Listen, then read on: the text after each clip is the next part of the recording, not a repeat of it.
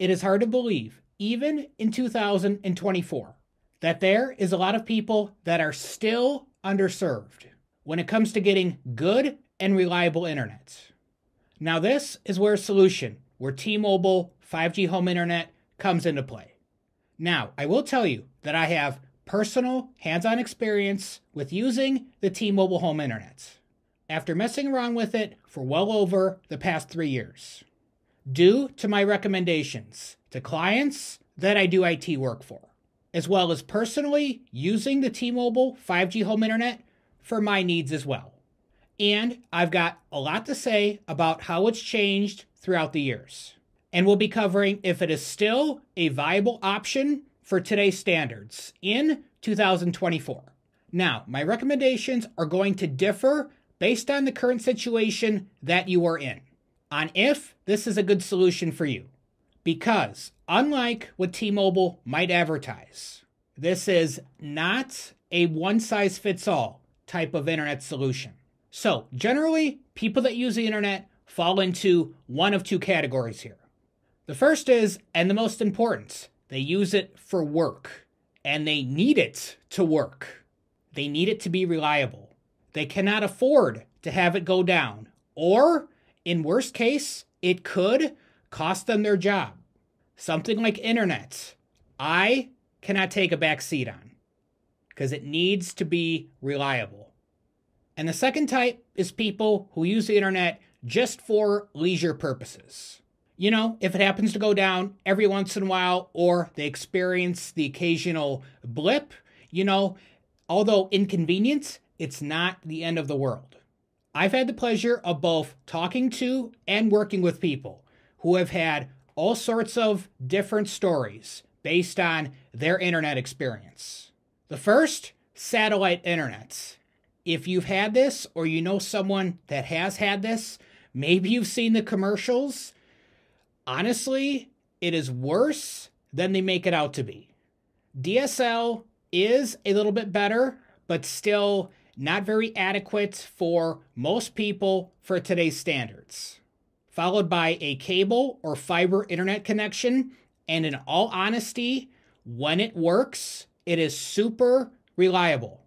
And I've also dealt with people that have fixed wireless internet, which is basically the same thing as the T Mobile home internet, just with different providers. Internet is brought in based on a cellular connection. So now, why would someone even consider possibly going with a solution like the T-Mobile 5G home internet? In my experience, most cases it is out of frustration. Their current internet provider goes down all the time. And the second is they're looking for a better option. And the price is very enticing. Now, all of these are, of course, very valid and good reasons, because after all, pain is a great motivator. And without it, you wouldn't change a thing. So, all right, you want to go ahead and give it a try. Now, I'm going to go into how the service actually works and how good is it. All right, so here we are on the website here. T-Mobile advertises it as reliable 5G home internet that's simple to set up. And that is basically true. You can go from the box to browsing in as little as 15 minutes.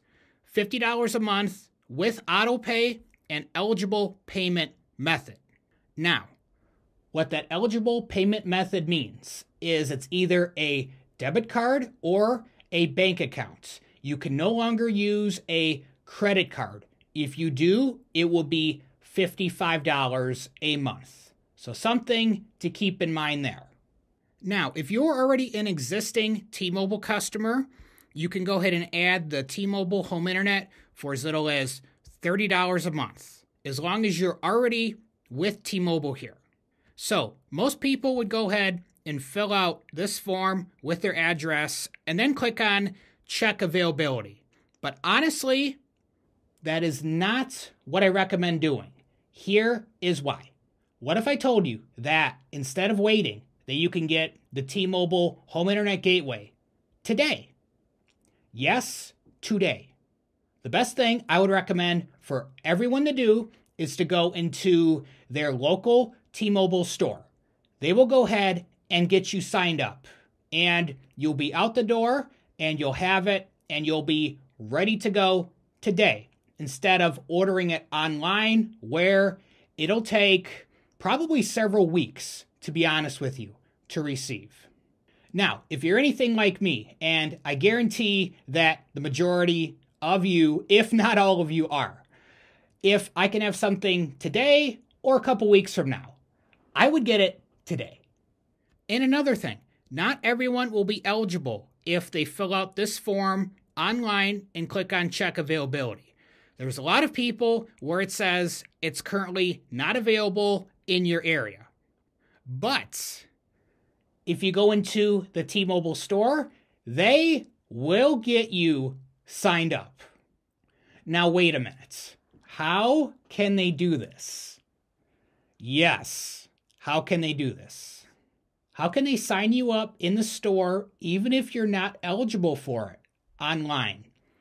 This is because the T Mobile employees will find an eligible address for you to use so you can go ahead and get signed up for the T Mobile home internet.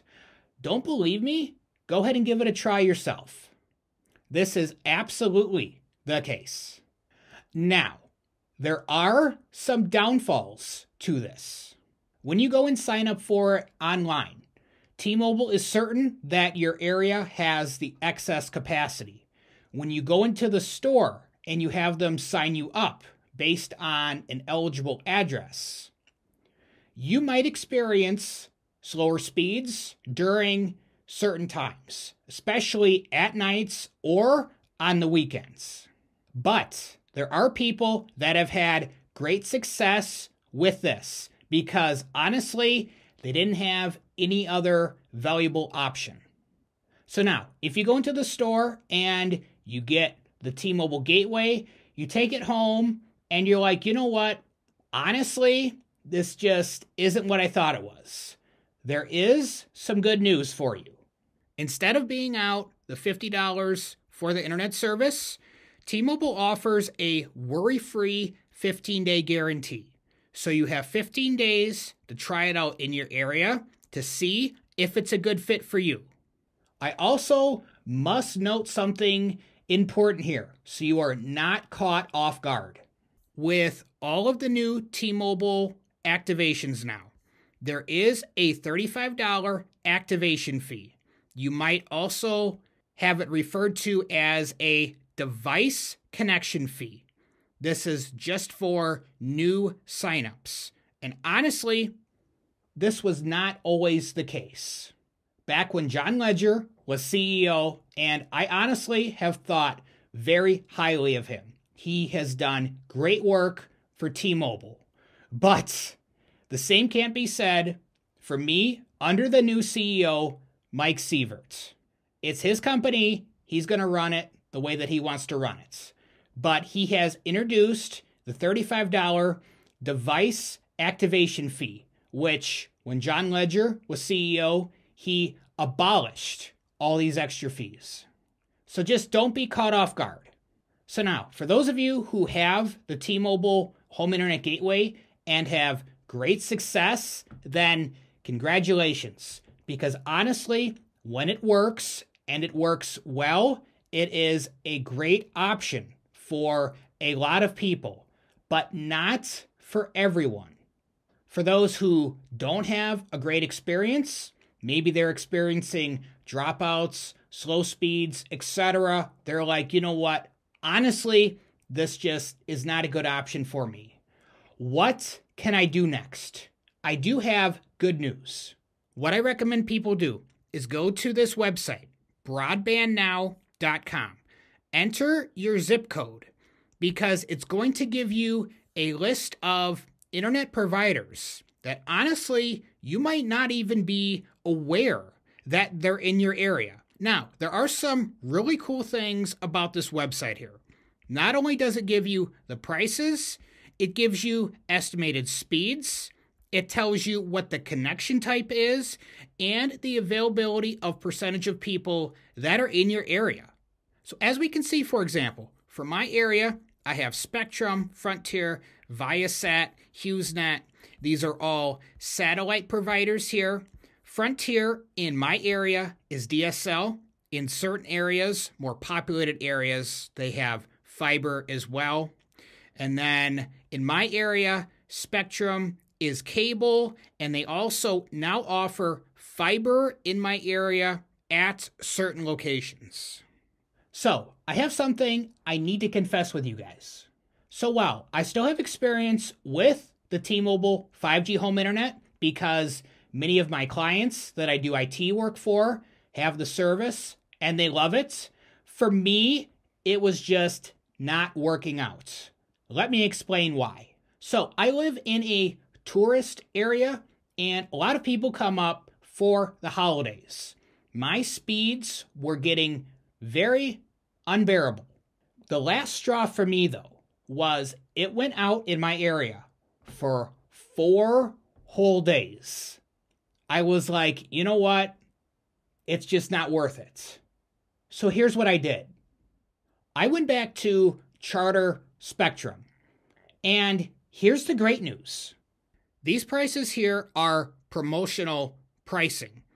So because I went back to Spectrum, I was able to get brought back in as a new customer. Yes, because I have disconnected service, I went back to Spectrum and they saw me as a brand new customer in their system. And this is the case with everybody as well. So I was able to get this $49.99 plan right here. And in all honesty, this is one cent cheaper than the T Mobile home internet. So if you happen to be in my same situation, say you left Spectrum, you went to T Mobile, you found out in your area, like I did for me, that it just wasn't good, and you go back to Spectrum, like I said, you will get brought in as a new customer and get the very best promotional pricing.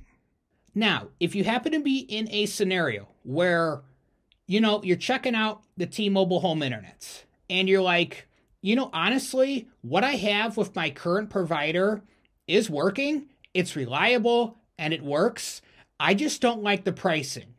Then here is what you do you go ahead and you call up your existing provider and you tell them, hey, I've noticed that my bill has gone up recently. And I've been looking around my options and, you know, I think I'm going to switch. Can you go ahead and get me a better price? There are a few things that might happen here. The first is they're going to say, oh, yes, we want to get you the very best deal. Let's go ahead and see what we can find. If they give you a great deal, go ahead and go for it. But if they are hesitant to do, which sometimes this is the case, all you got to do is ask to speak to a supervisor. This is going to throw red flags in their head. They might even put you on hold and say, Hold on, let me see what I can do. They might come back with an offer for you. Or, last case, if they're extremely stubborn, they will transfer you to a supervisor. They really don't like to do this because a customer service rep's job is to keep you on the phone with that rep. They don't want you being transferred to higher ups. This makes the current rep look bad. So if you have to speak to a supervisor, like I said, just let them know that, hey, I've noticed my bill has gone up recently, and I've been looking around different providers for options. What is the best price that you can give me? And they'll probably give you a really good deal. If the last case scenario is they say, you know what, that's tough. Simply, now this is not rude, by the way, even though some people might say it is. Simply hang up the phone and try again. Then you will get someone else. Try this process all over again. Do not give up though. If you're currently happy with your current provider, you just don't like this latest price increase that you have faced. That's a very wise move right there. Because if you like something and it works, and you go to something that might not be as reliable or questionable, you know, you'll have some regret set in. But like I said, you can always go back and get a better price also. So now I have to talk about some experiences that I faced going on in further years after using the T Mobile home internet service. And my clients have reported these things to me. They have noticed that the network is getting even more congested than usual. Here's the thing a lot of people don't know about the T Mobile home internets. If you're in a place that can handle it, has ultra capacity, you know, can handle the excess traffic, those are the type of people that generally don't have as many issues. But if you are in a more rural area, you will experience major deprioritization at times. So, how T Mobile handles the home internet is the home internet is placed on the lowest network priority. So, cell phone users, prepaid users, they get higher priority versus the T Mobile home internets. So, you're going to experience when the network is more congested, you're going to experience slower speeds. And I'm going to share with you some screenshots that show this as well so you can see. Also, I bet you didn't know that these T Mobile home internet gateways are not locked to a particular tower. So, what does that mean? Many, yes, many people are taking these devices on vacation with them and they're just using it as their internets. Now, in bigger cities, more populated areas where there is ultra capacity, this really isn't a big issue. But in smaller rural areas, this is becoming a problem. Because, say, the T Mobile home internet works great for you right now, when there's a lot of people come up for like holidays, if you're in a tourist area like myself, you're going to experience the network slowness. And I've experienced it to the point where it wouldn't even complete a speed test. And that right there is just not acceptable. So now, is the T-Mobile 5G home internet truly worth it in 2024? As you can hear from my experience, my stories, it really is going to depend on which bucket you are in. So after listening, you're like, you know what? This over here, this scenario fits me best. And you're going to be able to decide, you know what? Do I want to gamble with this? Is what I have good? I just don't like the price. Then I told you how to fix that. If you're generally looking for a better option, then go ahead and give it a try. And now we're going to go ahead and take a look at some general speeds that you can receive with the service. So, straight from the T Mobile website, you can typically expect download speeds between 72 and 245. That is when you are in a good connection. T Mobile then goes on to say 25% of our customers see speeds below and 25% see speeds above this range. It is delivered via the 5G cellular network as well as the fallback to the 4G LTE. There is no dedicated slots on the cell phone tower for this. Some people think, oh, yeah, there's dedicated slots on the cell phone tower. No, it uses the same exact cellular network as the cell phones do. And as you can see, speeds vary due to various affecting cellular networks. Okay. So now let's go ahead and take a look at some screenshots that I've personally taken as well as some that my clients have sent me. So honestly, right now, not too bad. Almost 69 for the download, 64 for the up. Here's another one. Not even 8 for the download and for the upload. Really impressed by a lot of these upload speeds. I will say. Here's another one 132 for the download, almost 38 for the up, 31 for the download. The upload, this is when the network was more congested here. A lot more people were starting to work from home, as you can see, almost 8 o'clock in the morning. So they were using a lot more upload bandwidth.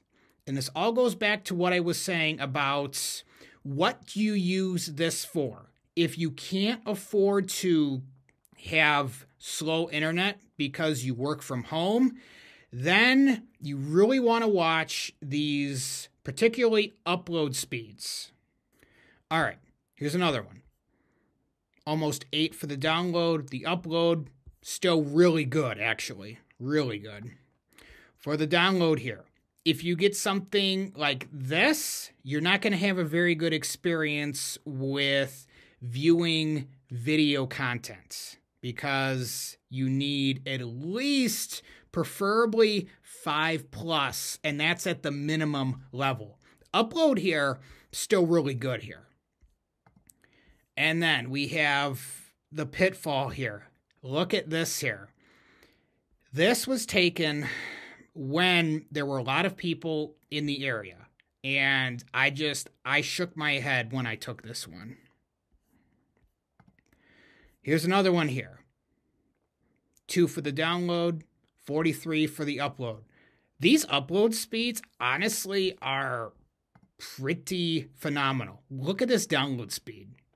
So as you can see guys, at the end of the day, it's really just going to vary based on your area and how congested the T-Mobile tower is. So now, you've watched the video and you're like, you know what? I think I've made my decision.